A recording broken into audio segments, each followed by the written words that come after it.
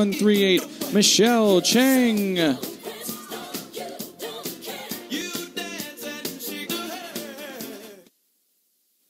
Listen, kid. I got 36 expressions, sweet as pie to tough as leather, and that's six expressions more than all of them Barrymores put together. Instead of just kicking me, why don't they give me a lift? Ah, it must be a plot, because they're scared that I've got such a gift. Well, I'm miffed, cause I'm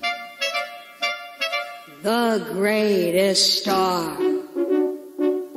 I am by far, but no one knows it. Wait, they're gonna hear a voice,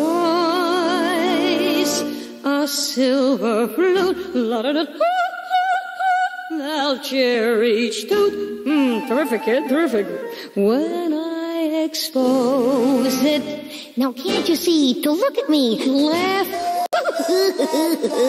They'll bend in half. Did you hear the one about the nearsighted Indian? A thousand jokes. Stick around for 'em, folks. A thousand faces.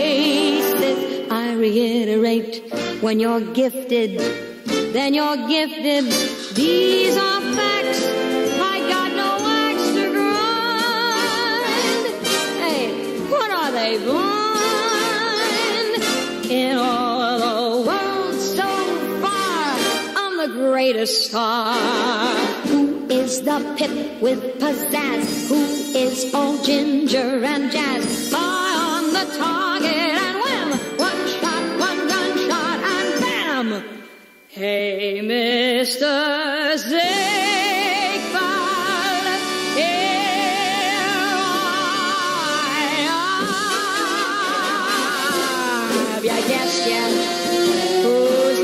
Best yet? If you ain't, I'll tell you one more time. You bet your last dime in all of the world